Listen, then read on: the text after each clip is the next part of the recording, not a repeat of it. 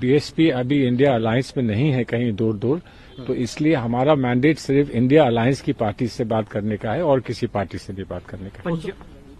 पंजाब और और दिल्ली को लेकर क्योंकि लगातार ये आ, पंजाब का भी हमें सिग्नल नहीं मिला। दिल्ली में हमारी बात हुई बहुत अच्छी बातचीत हुई बहुत अच्छी बातचीत हुई।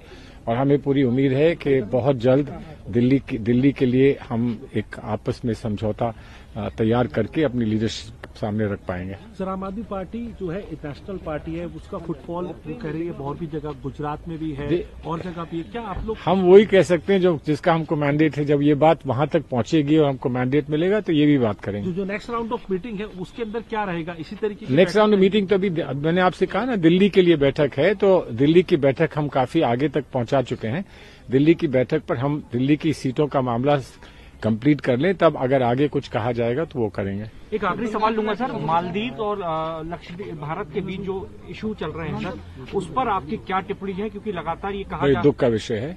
दुख का विषय है। जो भी हो रहा है अगर हमारे देश के प्रधानमंत्री के साथ ऐसी कुछ बात होती है तो उसका दुख पूरे देश को होता है।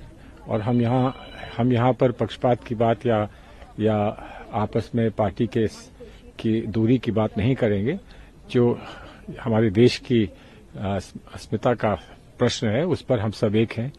और मुझे उम्मीद है कि वो हमारा, वो देश हमारा मित्र रहा है, और उसमें भी बहुत बहुत लोग हैं ऐसे जो भारत के साथ सदैव ही जुड़े रहे हैं।